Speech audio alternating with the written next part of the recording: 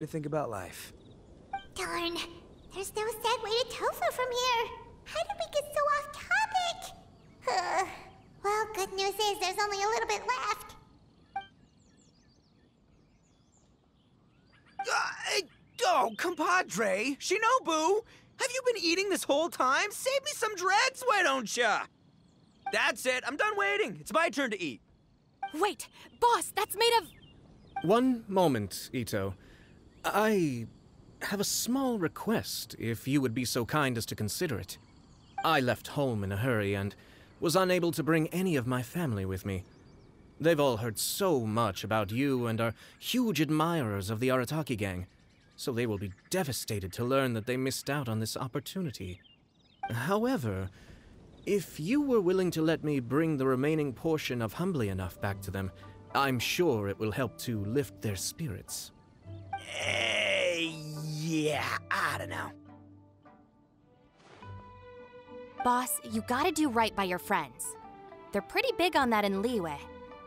Besides, you did eat quite a lot of the grilled fish while we were waiting for the main course, including mine and Ayato's. Huh? Oh, those were for you guys? Ah, dang it! I got too carried away telling that story, didn't I? In that case, pass my regards to your fan, bro.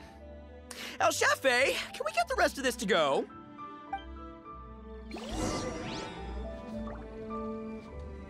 Count Crushmore. Instant kill. I never knew there were so many elite beetle fighters in Liyue.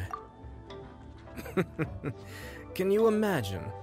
That would be tardiness of the most unfashionable variety.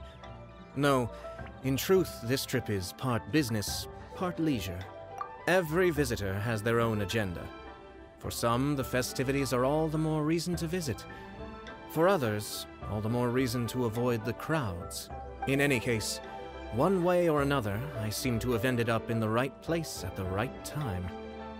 Now, as for the leftover tofu... Yes, I'm sure Thoma will dispose of it as he sees fit. Have to get back to the docks as soon as this meal is done. Well, uh, thing is... I can explain. Boss recently found work as a sailor, which allowed him to hitch a ride here. After the ship docked, he had some free time to do as he pleases.